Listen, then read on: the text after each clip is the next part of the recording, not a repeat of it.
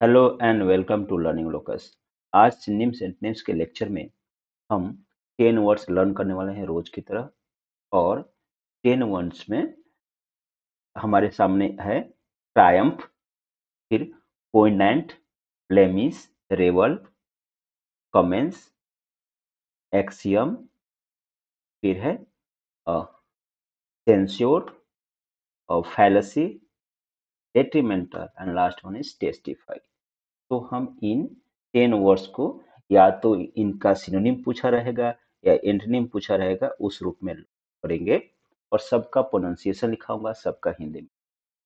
तो फ़र्स्ट है आज का कमेंस टी ओ को पहली बार में पढ़ना है और फिर दूसरी बार में मेंस पढ़ देना है M M E N C commence commence की हिंदी आप सबको पता होगी, फिर भी इसकी हिंदी है शुरू करना। कमेंस की हिंदी है, शुरू करना। और इसका बताना है एंटनिम कमेंस का एंटनिम बताना है। उल्टा मीनिंग का वर्ड बताना है। फोर ऑप्शंस आपके सामने आ गए हैं। पहला है, इसमें फोर ऑप्शंस में पहला है इनिशिएट तीन बार में पढ़ेंगे इसको इनिशिएट इनिशिएट का मतलब है शुरू करना या आरंभ करना। कुछ भी कह दीजिए इनिशिएट का मीनिंग होता है। बी है लॉन्च लॉन्च लॉन्च का मतलब होता है शुरू करना। शुरू करना, आरंभ करना, एक ही है, कोई अंतर नहीं होता है। फिर है किक ऑफ़ फ्रेजल वर्ब है किक ऑफ़ किक ऑफ़ का मतलब होता है शुरू करना। शुरू करना। फिर है कंक्लूड सी ओ एन को पहली बार में और फिर सी एल यू डी को क्लूड को दूसरी बार में। कंक्लूड इसका मतलब होता है समापन करना। समापन करना। तो आप अभी बता सकते हैं कि कमेंट्स जिसकी हिंदी है शुरू करना, उसका एंटनिम क्या होगा? डेफिनेटली एंटनिम होगा कंक्लूड ठीक है इनिशिएट का उच्चारण लिख लीजिए। इनिशिएट इनिशिएट बाकी सबका आप जानते होंगे। तो इस तरह से पहला वर्ड कंप्लीट किया हमने कमेंट्स का एंटनिम कंक्लूड हो गया है। नेक्स्ट वन किकअफ भी याद रखिएगा। एग्ज़ाम में कुछ भी पूछेगा इनिशिएट पूछेगा, चाहे कि कब पूछेगा, चाहे कुछ भी पूछ सकता है कमेंट्स तो एक माध्यम है फाइव वर्ड्स लर्न करने का। नेक्स्ट वन इज़ एक्सियम इसका उच्चारण ध्यान देना है, एक और फिर शियम एक्शियम ऐसे। एक एक्शियम का हिंदी चाहिए आपको। एक्शियम का हिंदी बताता हूँ। उससे पहले देख लीजिए कि एक्शियम का पूछ क्या रहा है? एक्शियम का पूछ रहा है एंटोनिम क्या होगा? एक्सियम का एंटनिम पूछ रहा है, उल्टा मीनिंग का वर्ड पूछ रहा है। का क्या होगा? एक्सियम जो वर्ड है, इसकी हिंदी होती है सिद्धांत। एक्सियम की हिंदी है सिद्धांत। फोर ऑप्शंस हैं, आपको बताइए। इसमें से क्या होगा इसका? एक्सियम का एंटनिम राइट पहला है डिक्टम डिक्टम डिक्टम का मतलब होता है कथन। सिद्धांत चाहे कथन, ये भी कथन होता है। फिर है मैक्सिम, इसको लिख देता हूँ उच्चारण। टिकटम टिकटम का मतलब? फिर है मैक्सिम। मैक्सिम। मैक्सिम का मतलब ही होता है कथन। फिर है paradox, P A R A para D O X dox. का उच्चारण है पैराडॉक्स। पैराडॉक्स की हिंदी होती है विरोधाभास। विरोधाभास। और फिर है postulate P O S T U postu L T late postulate का मतलब होता है स्वयं सिद्ध स्वयं सिद्ध मतलब जो जो चीज़ सिद्ध करने की ज़रूरत नहीं। तो आप बता सकते हैं अभी कि एक्सियम का एंटनिम क्या होगा? सिद्धांत है। सिद्धांत मतलब मतलब जो बात सब लोग मानते हैं, परीक्षण करने की ज़रूरत नहीं पड़ती है। तो और इसे सब लोग मानते हैं तो विरोधाभास नहीं होता है। सो विरोधाभास इसका जो नियरेस्ट जो मोस्ट अप्रोप्रिएट एंटोनिम होगा पैराडॉक्स होगा। डिक्टम नहीं होगा। डिक्टम मतलब कथन चाहे सीधा। मैक्सिम मतलब कथन चाहे सीधा। पोस्टुलेट का मतलब स्वयं सिद्ध है। कथन। हाँ जिस मतलब जिसको सिद्ध करने की ज़रूरत नहीं तो ये भी एक सिद्धांत ही होता है। इस तरह से आंसर होगा। पैराडॉक्स ट्वेंटी थर्ड करते हैं। इसका डिक्टम नहीं है। गलत सेट किया गया है आंसर। इसका आंसर है पैराडॉक्स। ये नहीं है। Next one, twenty third is word है सेंश्योर सी ई एन से सी एन सेन और S U R is sure censure censure का एंटनिम बताना है। सेंश्योर का एंटनिम बताना है। उससे पहले सेंश्योर की हिंदी चाहिए। सेंश्योर तो वर्ड है। सेंश्योर सेंश्योर पूरा कर दीजिए। सेंश्योर का मतलब होता है निंदा करना। का मतलब होता है निंदा करना। ओके? तो इसका अब चाहिए। एंटोनिम इसका निंदा करना नहीं, निंदा करना भी होता है, यहाँ निंदा रखे वर्ब भी होता है निंदा करना मतलब सेंसर का वर्ब के रूप में भी निंदा करना मीनिंग होता है और नाउन के रूप निंदा करके मीनिंग निंदा इसलिए रखें क्योंकि जितने वर्ड्स हैं ये सब के सब वर्ब नहीं है सबके सब नाउन है राइट इसलिए सेंस्योर की हिंदी मान लेंगे निंदा अब इसका एंटोनिम क्या होगा? पहला है फॉल्ट फॉल्ट तो आप सब जानते हैं फॉल्ट मतलब होता है गलती। फिर है अपलॉज ए पी पी को पहली बार में पढ़ेंगे और फिर L A U S C को लॉज इसका उच्चारण होता है ऐसे अपलॉज अपलॉज का मतलब होता है प्रशंसा। प्रशंसा फिर है ब्लंडर। Blunder blunder. मतलब ये होता है ब्लंडर, ऐसे लिखते हैं। ब्लंडर मतलब बड़ी भूल। बड़ी फिर है contempt. T O N con? T E M P T tempt. Contempt. Contempt की हिंदी होती है अवमानना अवमानना इसको उच्चारण लिख देता हूँ। कंटेम्प्ट कंटेम्प्ट क्या रहेगा? कैसे लेता हूँ? कन तो अवमानना। इस तरह से आप देख रहे हैं सेंस्योर सेंस्योर का एंटोनिम क्या हो सकता है? निंदा का निंदा का उल्टा क्या हो? गलती तो नहीं होनी है, परिपूर्ण नहीं होनी प्रशंसा प्रशंसा होना है, इसका निंदा का प्रशंसा कंटेम्प्ट का मतलब अवमानना। तो आंसर होना चाहिए बी अपलॉज सही आंसर है। तो हो गया? Applause twenty fourth number word is triumph इसका उच्चारण सबसे पहले लिख लीजिए। वर्ड है टायम्फ ऐसे लिखते हैं। टी आर आई को एक बार पढ़ते हैं और फिर यू से लेकर एच तक इसको यम्प ट्रायम्प ट्रायम्प का मतलब होता है जीत, विजय। का मतलब होता है।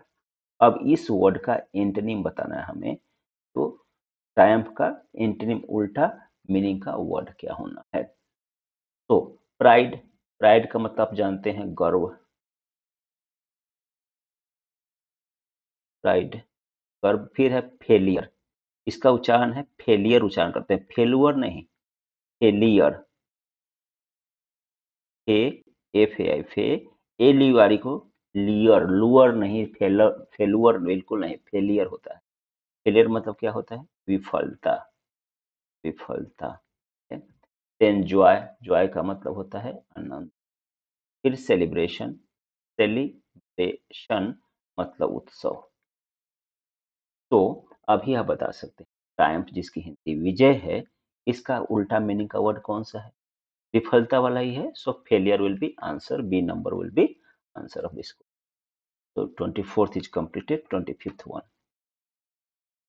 F A L L S C Y का उच्चारण है फैलसी की हिंदी है उच्चारण है फैलसी और फैलसी की है ओखा इसकी हिंदी है ओखा ओके अब इसका सिनेम बताना है आपको पता है ना कि कभी सिनेम पूछाता है कभी एंटोनिम मतलब सब मिक्स रखा है जानबूझकर ताकि आपका अटेंशन लेवल स्ट्रॉन्ग रहे एग्ज़ाम के वक्त।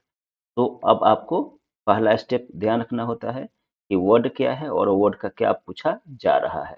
तो सिनेम बताना है आपको, फैलसी का। फैलसी मतलब धोखा।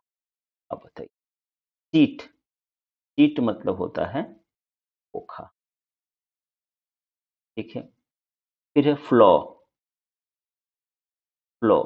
फ्लॉ का मतलब होता है, चिट मतलब धोखा। और फ्लॉ का मतलब होता है गलती। फिर है ट्रीक ट्रीक का मतलब होता है चाल और फिर ट्रूथ ट्रूथ का मतलब आप सब जानते हैं, सच्चाई। तो इस तरह से फैलसी जिसकी हिंदी है, धोखा, इसका सिन्निंग बताना है, इसी तरह का मीनिंग वाला वर्ड बताना है तो आंसर क्या हो जाएगा? चिट ए नंबर आंसर होना चाहिए। Twenty fifth complete twenty six one आपके सामने आ गया है। इसका उच्चारण में ध्यान देना है आपको, जो जी होता है, जी, ये साइलेंट होता है, इसको हम उच्चारण नहीं करते हैं। तो पी ओ आई एन को एक बार हम पढ़ेंगे पोइन और फिर एंट पोइन एंट मैं यही शुरू में बोला था पोइन पोइन एंट यहाँ का नौ आएगा पहले इधर पोइन पोइन अधर और फिर एंट पोइनेंट पोइनेंट पोइनेंट का मतलब क्या होता है? पोइनेंट जो वर्ड है, इसका मतलब है मार्मिक। तो बहुत ही अधिक दुखद, जिससे दिल दुख जाता है, उसको बोलते हैं मार्मिक। पोइनेंट का मतलब मार्मिक। अब इसका सिनोनिम बताना है। सिनोनिम इसका क्या है? ये हमें बताना है। देखिए। क्वाइट क्वाइट मतलब शांत। पता है? है ना? क्वाइट शांत। दूसरा है ब्यूटफुल यहाँ पे जो वर्ड है ना आई का उच्चारण नहीं करते हैं। तो बी ए यू टी को पढ़ेंगे ब्यूट और एफ़ यू एल को फुल ब्यूटफुल ब्यूटीफुल नहीं ब्यूटीफुल बहुत बोलते हैं। ठीक है आई साइलेंट होता है ब्यूटफुल ब्यूटफुल का मतलब पता है आपको? सुंदर। सुंदर, लिख देता हूँ। ब्यूटफुल ओके फिर है टचिंग टचिंग का मतलब होता है मार्मिक। का मतलब होता है मार्मिक और फिर हैप्पी का मतलब सबको पता। है बताइए पोइनेंट का, जिसकी हिंदी मार्मिक है, इसका सिनिम क्या होगा? होगा आंसर सी होना चाहिए। Twenty seventh. प्लेमिस। प्लेमिस। प्लेमिस। वर्ड हो गया। और बताना है इस वर्ड का एंटनीम क्या होगा? मतलब अपोजिट वर्ड क्या होगा? प्लेमिस का अपोजिट वर्ड क्या होगा? ये बताना। प्लेमिस ऐसे लिखते हैं अगर लिखें तो प्लेमिश ब्लेमिस की हिंदी होती है भब्बा। की हिंदी होती है ब्लेमिस की हिंदी भब्बा कह दीजिए राइट तो अब बताइए डैमेज डैमेज की हिंदी पता है आप सबको? डैमेज की हिंदी क्या होती है? आघात। हिंदी होती है आघात। फिर स्टेन, इसे स्टेन पढ़ते हैं। स्टेन स्टेन की हिंदी होती है धापा। फिर डिसकलरेशन मतलब कलर खराब हो जाता है तो इसकी हिंदी भी होती है। कलर खराब हो जाना कह सकते हैं हिंदी इसका, और धब्बा भी इसका हिंदी। और लास्ट में क्या है? क्लियर क्लियर मतलब साफ़। तो अभी बताइए लेमिस का एंटोनिम क्या होगा? एक ही है टी नंबर क्लियर अब है ट्वेंटी एट नंबर आपका टेट्रीमेंटल टेट्रीमेंटल आगे कुछ बताऊँ, उससे पहले सुन ले। डेट्रीमेंटल जब आएगा सेंटेंस तो इसके साथ प्रेपोजिशन आता है टू प्रेपोजिशन होता है टू डेट्रीमेंटल टू ध्यान रखिएगा एक्स्ट्रा नॉलेज हो गया इसमें। तो नाउ डेट्रीमेंटल वर्ड है तो लिख देता हूँ। डेट्रीमेंटल दो बार में इसको उच्चारण करना है। मार्क कर दिया हूँ, आपको पता है। जहाँ तक एक बार पढ़ना होता है, वहाँ पर लाइन खींच दिया। फिर दूसरी बार जहाँ से पढ़ना होता है, वहाँ तक डेटिमेंटल दो लाइन खींच दिया है। इसका बताना है सिनोनिम डेटिमेंटल का सिनोनिम क्या है? मतलब इसी के मीनिंग वाला वर्ड हमें ढूंढना है। वे फोर आपके सामने वर्ड्स हैं ऑप्शन हैं, इनमें से फ्रेंडली फ्रेंडली का मतलब तो जानते हैं ना? फ्रेंडली दो बार पढ़ते हैं फ्रेंड फ्रेंडली फ्रेंडली मतलब दोस्ताना, ये आपको पता है। स्मार्ट स्मार्ट का मतलब आपको पता है। कोई स्मार्ट है मतलब क्या है? बुद्धिमान है। इंटेलेक्चुअल का मतलब होता है बौद्धिक। का मतलब होता है बौद्धिक। उच्चारण लिख देता हूँ। इंटेलेक्चुअल अल टेक्चुअल इस इंटेलेक्चुअल मतलब बौद्धिक, अ है इधर फिर है हार्मफुल हार्मफुल मतलब क्या होता है? हानिकारक चाहे हानिकर। बताइए। डेट्रीमेंटल का हिंदी बताया नहीं मैंने सदा आपको। डेटिमेंटल का हिंदी होता है हानिकर चाहे हानिकारक। हानिकारक। तो वर्ड है डेटिमेंटल इसका सिन्नी बताना है। अब सबका मीनिंग पता हो गया। आपको पता है? इसका आंसर डी हो जाएगा, हार्मफुल हो जाएगा। बहुत इंपॉर्टेंट वर्ड है। Twenty ninth number. वर्ड है R E V E L उच्चारण बहुत आसान है इसका। उच्चारण है रेवल। उच्चारण है इसका रेवल। इस रेवल का बताना है रेवल का एंटनिम क्या होगा? उल्टा मीनिंग का। ऑप, वर्ड क्या होगा इन फोर ऑप्शंस में से? उससे पहले रेवल की हिंदी पता होना चाहिए। रेवल की हिंदी होती है, आनंद लेना। थोड़ा निगेटिव मीनिंग कहें तो रंग रलिया मनाना। बहुत खुश होते हैं ना तो उस तरह करते हैं, चाहे आनंद लेना तो। खुशी का ही मतलब होता है।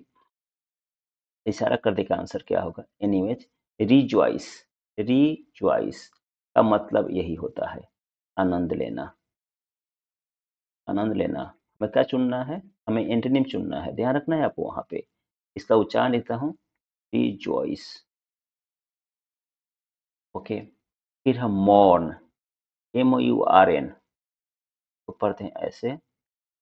मॉर्न मौन का मतलब होता है शोक मनाना। शोक मनाना। फिर है अप्रेशिएट। अप्रेशिएट। अप्रेशिएट का मतलब होता है प्रशंसा करना। प्रशंसा करना। अप्रेशिएट ओके इंजॉय का मतलब पता है आनंद मना आनंद करना। एनीवेज तो अब बताइए, रेवल का अब एंटनिम क्या हो सकता है?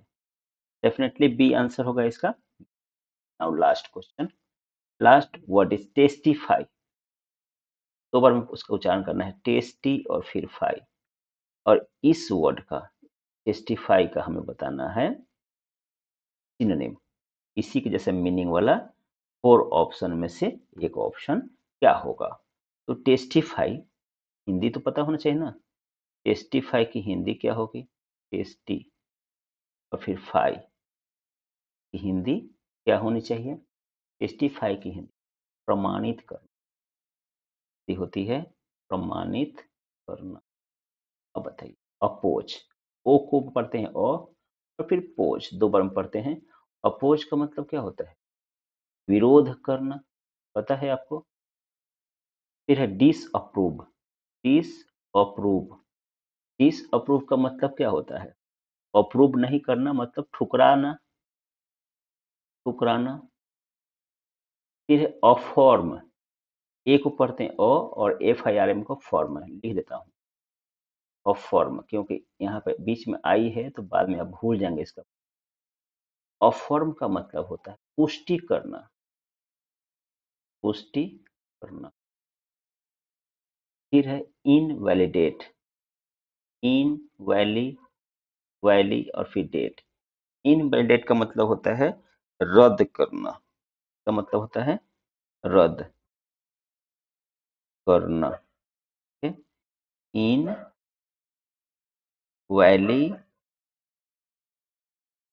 डेट मतलब रद्द करना। तो अभी बताइए, टेस्टिफाई मतलब प्रमाणित करना, इसका सिनेम क्या हो सकता है पुष्टि करना हो सकता है सिनेम इसका? और फॉर्म? बाकी तो कुछ होगा नहीं तो यही सिनेम है। ठीक तो आज का लेक्चर फिनिश होता है। Thank you thank you very